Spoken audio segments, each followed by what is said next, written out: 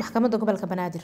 Marka laga soo tago dadku meelo qaar oo ay cadaalad u doontaana jirto sida haddaan kuu cadeeyo inay dhahaan. Waxaan cadaalad u doonanaynaa maxkamad ay al-shabaab leeyihiin oo kale iyadoo maxkamadii dalka ay jirto. Marka baahida keenaysa maxay tahay? Dadku in maxkamadiinu ay ka tagaan shabaab ay u cadaalad doontaan ma la isdhihi karaa taas waxaa keeni karta dadku weli waxay tabanayaan cadaalad darro? Iyo intaba jawaabta ku aadan in in aan maqlo dad oranayo waxaan cadaalad u doonanay cadowga. Macnaheedu waxa waaye waxay raadiyeen ay u aadeen waxa waaye in qof soomaaliya la dilo waaye. Waxay u aadeen inay badiyaan dadka la dilaya inay badiyaan.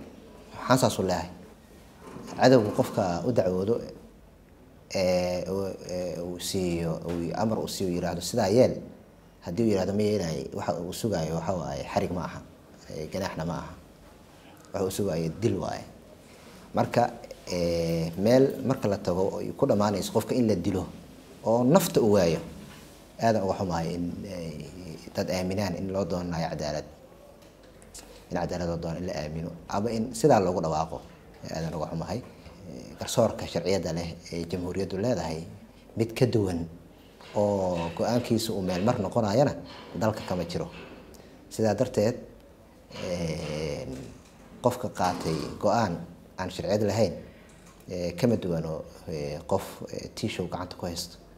Marka la yimaado waqtiga baraaraha oo aan naga fogeyna inta la soo baxo ma dhihi doono go'aanaa lai gaaray ciddaasaana ii gaarta ma dhihi doono.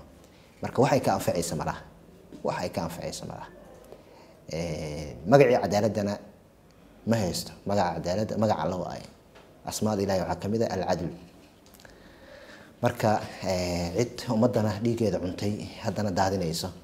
Haddii ay ku siiso amarna aadan abiil ka qaadan karin oo aadan dhihi karin sabab macquul ah wataaba waa sidaas.